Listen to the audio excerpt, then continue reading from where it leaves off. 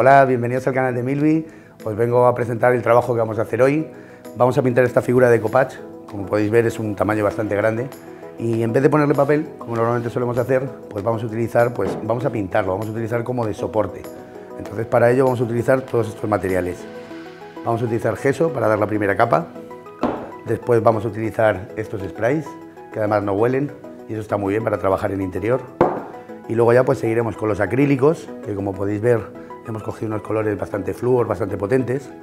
Y claro, por supuesto, las brochas, vamos a utilizar una brocha de pelo más duro y una brocha de pelo más blando. Y por último lo remataremos con pan de oro, como podéis ver, son láminas muy finas.